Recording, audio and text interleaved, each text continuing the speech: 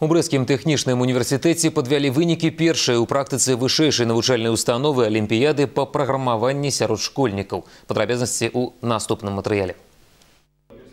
Прыйшоў, убачыў перамог. Гэтыя словы Юлія Цезара дакладна не пра ўдзельнікаў першай алімпіяды сярод школьнікаў па праграмаванні.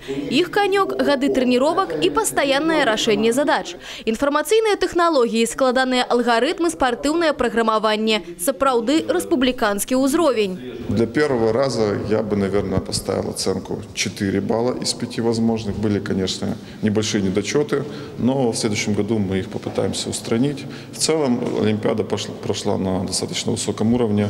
Вот, отметили это и школьники. Першапачаткова на алімпіяду зарэгістравалася 155 школьнікаў з брэскай і гродзенскай абласцей. У першым туры ўзялі ўдзел 72 чалавекі, з якіх 16 прайшлі ў другі. У большасці старшакласнікі, але быў нават вучань сёмага класа.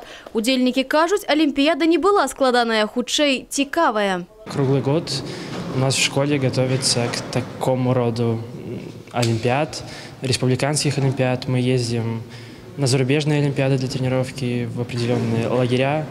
У нас в Бресте проводится областная э, лагерь на неделю, где приезжают победители международных олимпиад и тренируют нашу брестскую команду. Алімпіяда гэта не толькі сертыфікаты, дыпломы і грашовыя прэміі. Перш за ўсё знаёмства з тэхнічным універсітэтам і яго магчымасцямі.